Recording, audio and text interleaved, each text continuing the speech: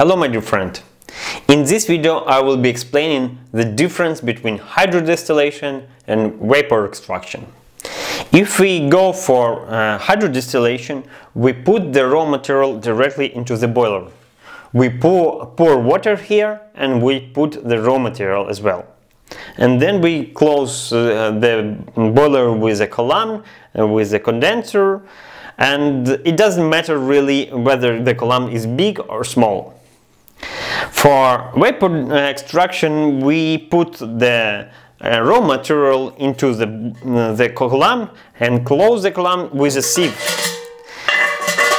In this way, we, um, we have the raw material separately from water and only the vapor is contacting the raw material. material. That's why we call it vapor extraction.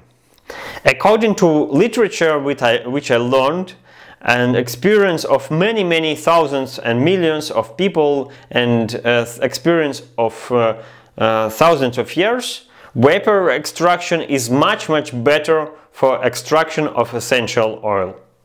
That's why our uh, stills have big column.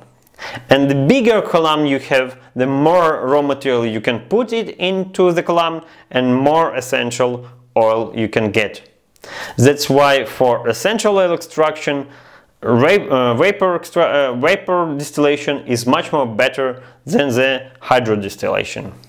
If you have more questions on this topic, please do not hesitate to contact us. We will be happy to guide you.